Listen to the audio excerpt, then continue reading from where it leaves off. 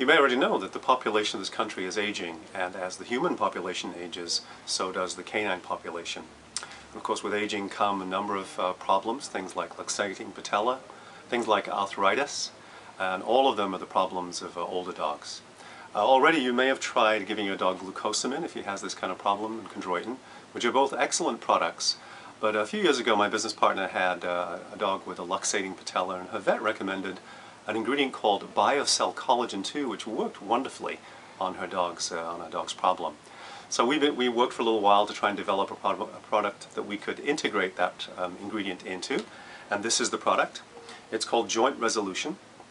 It's one of our herbal elixirs, and you put a couple of drops of the product in, directly into the dog's mouth if you can. You see the handy dropper right here.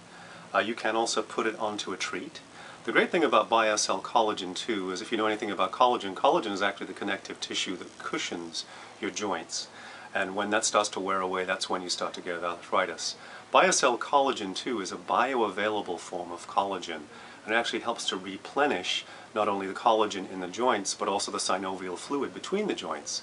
So not are you only helping not only are you helping to ease the pain, but you're also helping to rebuild the cartilage, rebuild the joint itself so that you're creating healthier solution to the problem and not just covering up the symptoms. The other thing I would point out about the formula is the BioCell collagen is one of the active ingredients, but it also contains a number of herbs like dandelion, which is an excellent diuretic, so it helps to cleanse your dog's system. Also, there are herbs in, in there which will help to mitigate the um, inflammation in your dog's joint, actually so act as anti-inflammatories. So it's a complete formula, both the BioCell collagen and herbs. Uh, this is a formula that's perfect, of course, for older dogs, dogs with hip dysplasia, with arthritis, with degenerative uh, um, uh, joint disease. And the nice thing about it, it's very easy to administer.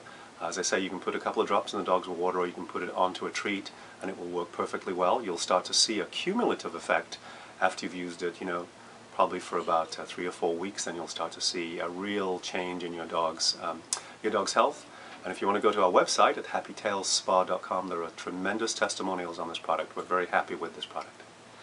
Kevin, I have a question. Mm-hmm. Does this product, uh, ha- can it be used long term, or do I just use it while my dog has pain?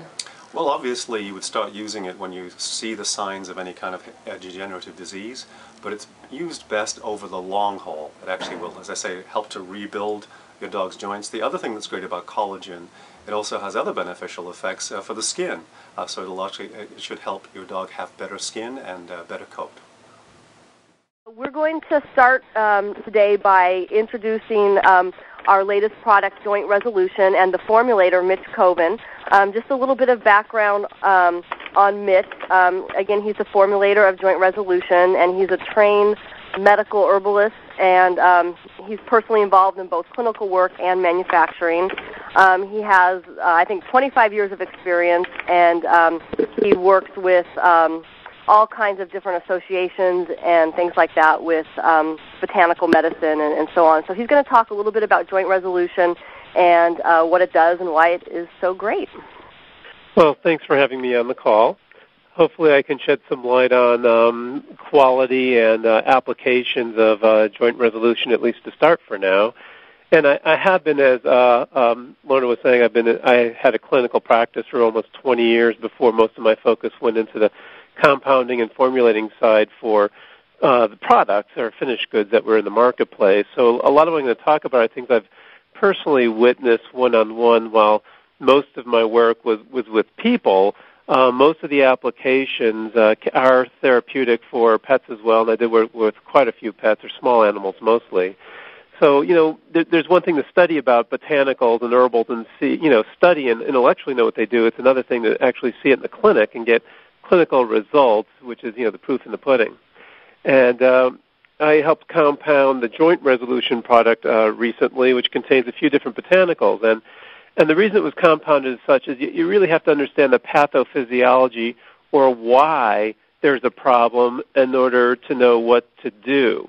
And no one herbal thing, and even one no, nor one medication, is typically going to turn around a, a problem or a system dysfunction. And that's why we compound numerous botanicals because they do different things to help turn around a condition. And in setting it up as such, when we're dealing with joint problems with pets, you know, certainly some um, breeds have, you know, genetic predispositional orientation to joint problems. Uh, some develop over time. Some have been in, in, in accidents. So, for, and this this formulation would be suitable for all the reasons that there could be joint problems. And to keep in mind as I talk about this, this can be used when there's a problem it could also be used to prevent a problem for uh, for dogs, cats uh, that tend toward uh, joint problems, especially as they age. Uh, to break down the formula a little bit, now one of the ingredients we put in here, so you can understand how it works, is a product called BioCell Collagen 2.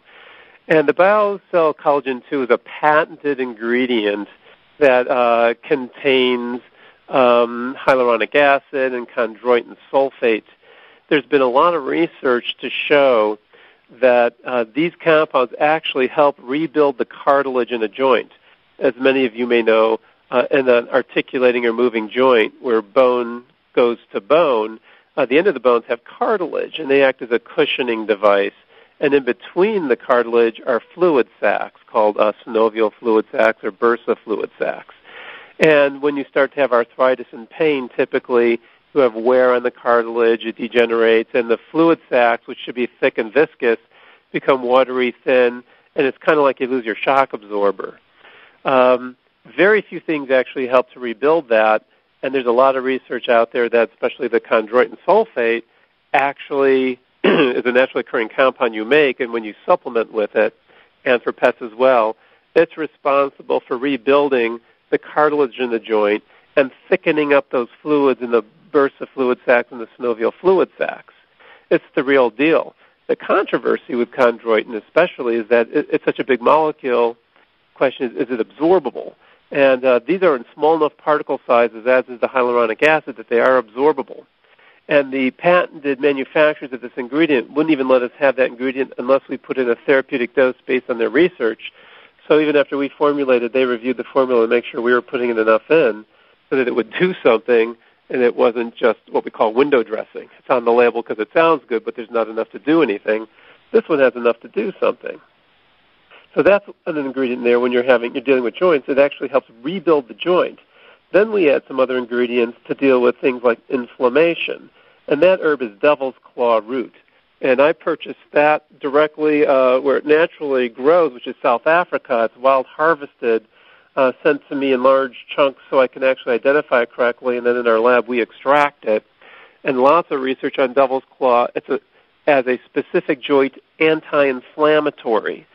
So part of the healing process is that you got to remove that inflammation because it's the inflammation which creates compounds which degenerate a joint. So while you have the biocell rebuilding the joint, you got to stop why it's breaking down. You got to get rid of that inflammation, and here's a way to do it without all those you know steroids which you may want to avoid in going a natural course. So we have the devil's claw, which is a joint anti-inflammatory. It's also a connective tissue anti-inflammatory. And connective tissue is that tissue that's a web-like through the body of your pets that uh, covers all bone and muscle. And you know, in humans at least, we say, well, when someone has systemic pain or pain all over, it's like a fibromyalgia, chronic pain which can just start with chronic joint problems or an accident and just kind of morph so that it's all over the body. Um, devil's claw helps decrease inflammation in that tissue as well, which is just an extra needed thing sometimes when the discomfort is, is long and you know the inflammation can spread beyond the original point of problem and become systemic or all over. So devil's claw is anti-inflammatory. Then we add in uh, licorice root. And licorice root, while some of you may only be thinking of those candy whips, uh, licorice root is really a plant and uh, primarily grows in Egypt where we get it, and we actually get a certified organic licorice root. Licorice root increases naturally occurring corticosteroids. It is not a corticosteroid.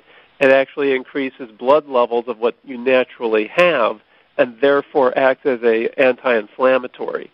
So devil's claw works in the joint, but licorice root works all over the body through a different chemical pathway to also help decrease inflammation because the reason you may have inflammation can be varied I don't know, you don't know, your doc doesn't know, the vet doesn't necessarily know why the inflammation is there, which specific chemical pathway. So the beauty in doing a formulation is you try to approach different methodologies as to why there's a problem. We add the licorice root for that reason. We also add in dandelion root, which is also organic, and dandelion root is a mild diuretic, so it'll decrease fluids which can add to joint swelling when there's a problem. So there's dandelion root in there as well. And then the last ingredient is boswellia. Boswellia is the Latin name for frankincense, which is the uh, gum exudate of a tree. You know, biblical, as you probably know, but Boswellia has a lot of research as well as an anti-inflammatory through, again, a third uh, chemical pathway. So what we do is we combine all of these things with the intent of decreasing inflammation, de- uh, help rebuilding the joint, and it is for pain. It is for inflammation. It is for rebuilding the joints, for dysplasia. It can be used for wear and tear. Again, I want to reinforce that not only can this be used when there's a problem and it's notable, it can be used preventatively if uh, your breed tends to have these problems, and in which case, maybe you don't do it every day for their whole life, but as they're getting on, maybe for a month or two a year preventatively, um, it would be indicated, you know, just throw it in some food and uh, use it that way. Um, and you dose up or down according to the weight of your animal. So uh, while there's a recommended dosage on the label, if, if you have a 130 pound you know a puppy there, you're going to have to increase the amount uh, that you're using just because of the sheer mass. And if you have a nine pound you know dog, you're, you're going to decrease the amount. It's just common sense stuff. Um, so we've seen great results with uh, joint resolution. We've used these uh, this kind of a blend with um, humans as well, and uh, the the main point is to use it um, consecutively, meaning every day. You don't just take it once and look the next day to see a change. You have to use it ongoing. Um, you know, once or twice a day with each meal. Follow the directions on the label, and you'll see results. And again, the botanicals are organic. Uh, the Devil's Claws wildcrafted. There's no pesticides. These are all produced in our FDA registered, good manufacturing, procedured, uh, certified uh, lab here in Albuquerque, New Mexico. So it's a top quality control uh, that you can possibly have in terms of uh, how this is manufactured. Mitch, what kind of, um, you know, for most of the people on the call have have stores, and so for what kind of conditions could they feel comfortable recommending joint resolution, like arthritis, luxating patellas? Um, what other kinds of things? Yeah, yeah, hip dysplasia, um, uh, you know, injuries, traumas, accidents to the pet. I mean, I would say if your pet's any kind of uh, trauma whatsoever, where there was damage to tissue, um, this could be helpful there as well. But certainly arthritis, whether it's osteo or, or rheumatoid, this is absolutely indicated um, because of the wear and tear. It's going to rebuild the cushioning in the joints.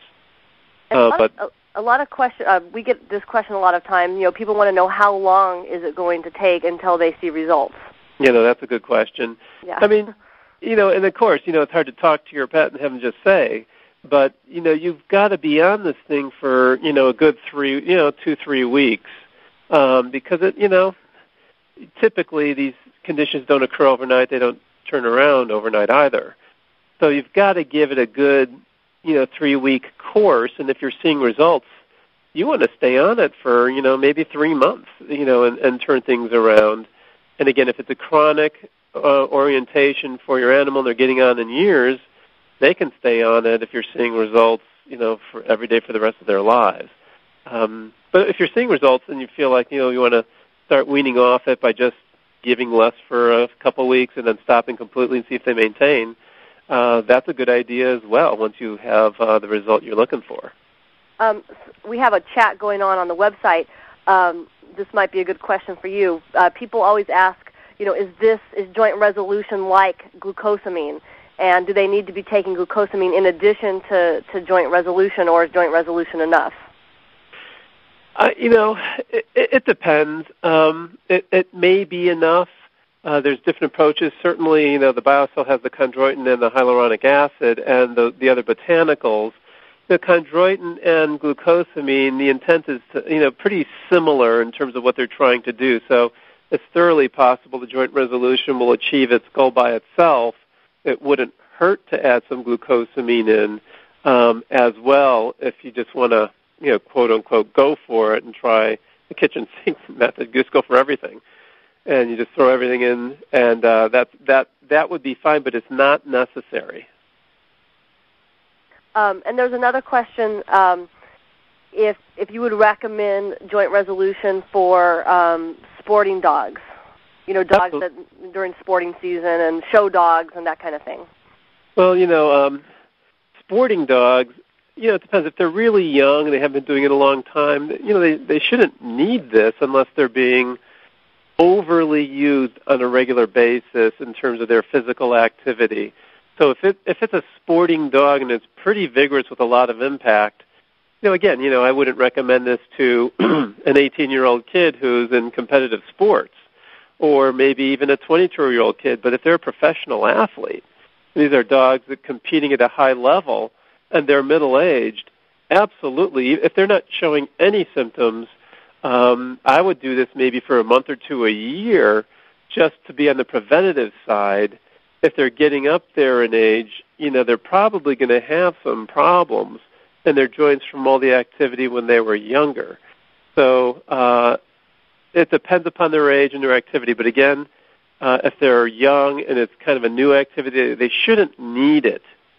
Um, and and uh, you know, but again, if they're middle aged and they've been competitive for a little while, absolutely.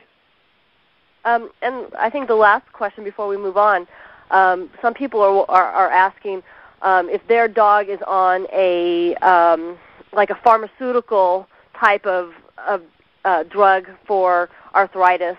Um, does this would joint resolution kind of contradict it, or would there be any kind of um, you know problems taking a pharmaceutical ingredient along with this? You know, that's a great question and an appropriate question. You should always question what you what, what if you're in a pharmaceutical, should I take a supplement with it? and this is completely safe uh, to take with a pharmaceutical.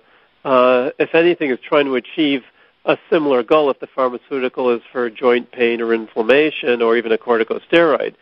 And people may say, well, gosh, it's so much, you know, is it too much of everything? And my response usually to that is, well, isn't that the goal? So that if the, you know, the, the herbal supplement here is achieving that goal, uh, working with your vet, you know, wean the animal off the uh, prescription, which tends to have more side effects, more toxicity, and other problems. It would be wonderful that you can just transition into just joint resolution uh, because you're maintaining, um, you know, healing, true healing, really, on something much safer that you can even eventually wean off of. So, yes, you, it's safe to combine together. It's indicated to combine them together because this will do additional things and then look for a weaning process on the uh, uh, medication toward joint issues. And I always say, you know, work with your your vet because you know they're more educated than you, to, you know, in how to go about this.